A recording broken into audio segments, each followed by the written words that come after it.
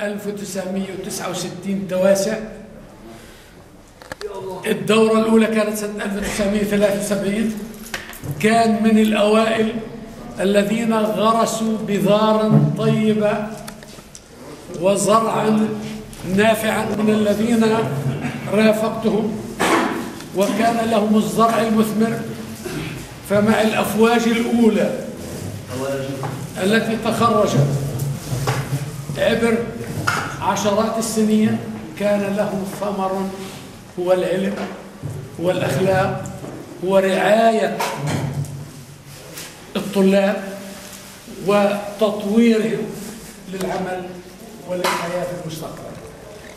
فالمرحوم له أيادي في مدرسة سخنين الثانوي وفي مدارس أخرى ثانوية وفي الجامعات وعمل في حقل التعليم الذي هو يعتبر من من أنجع ومن أفيد المزروعات اللي بيخلقها الإنسان أو اللي بترافق حياته أو من أعماله. فالحمد لله له الرحمة قام بالواجب. نأمل من الله أن يتغمده برحمته وأن يرحمه بكل عمل طيب قام به في خلال عمره المديد الذي عاشه. ونأمل لمن خلفه من إخوانه وأولاده أهل بلده كل خير وكل بركة وإنا لله وإنا إليه راجعون. لكن آه، صحيح أبو أستاذ حنا عزيز علي أنا أنهيت الثاني عشر بسنة ال 75 بثانويه سخنين والأستاذ حنا علمنا ب 73 حتى ال 75 بتسوي باسم الدوفير عريان. يعني بكلم اسم البلدية. علمنا بالحادي عشر وبالثاني عشر.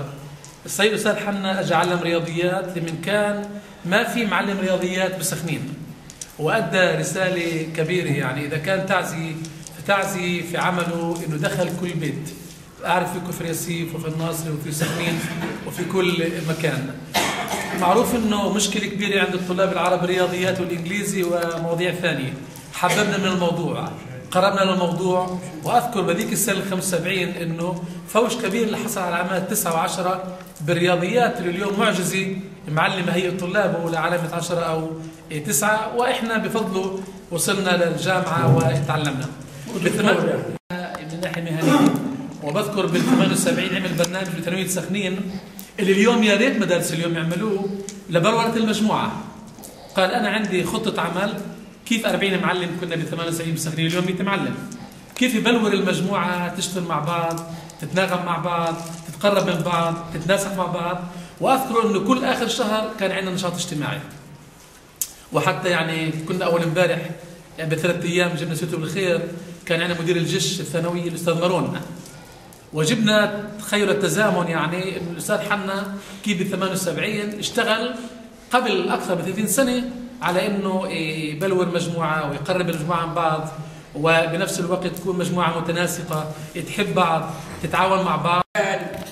بالله خصصهم بهذا النوعية الخاصة بالعلم وهي رسالة محمولة منقولة إلى الأبناء. لا زالت صورة أبو شادي في عيون طلابه الذين كانوا ينتظرونه ويرونه على على السبورة.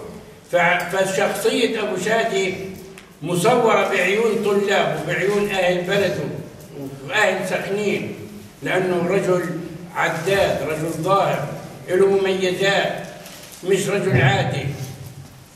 وقول يا أيتها النفس المطمئنة ارجعي إلى ربك راضية مرضية فادخلي في عبادي وادخلي جنتي.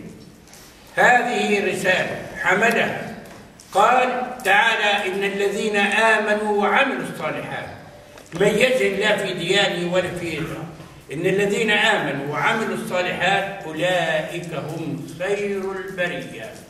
أشرف خلق الله الذين يعملون برسالة التعليم. وحملها بشرف وأداها بشرف وأخذت منيته ولا زال حيا موجود في هذا الوجود